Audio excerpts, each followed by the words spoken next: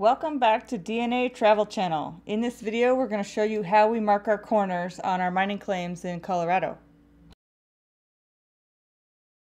This picture here is what the end result of our corner markers will look like. We created a map of each claim on Google Earth. The claims are 20 acres. Our claims used to be skewed, but recently the BLM remapped them to align with the U.S. Public Land Survey System. So we followed the township and range descriptions to create our maps. A hand-drawn map is also acceptable to submit for your claim. Colorado does not allow plastic PVC markers. They must be metal, stone, or wood.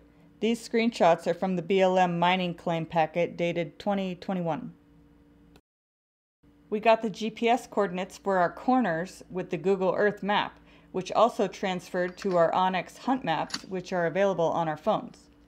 We take our markers, our yellow metal labels, and our post hole digger and walk to the corners. The BLM regulations state you need to dig down at least 12 inches. I'll gather rocks from around the area while he digs the hole. He'll put the post in and we'll fill it back in with dirt and rocks, tamp it down. Then we'll staple the label to the post. You need to have a marker for all four corners of every mining claim. Here's an example of our metal label. It needs to reference the other corner posts and the distance to them. We wrote two different adjacent corners on our label.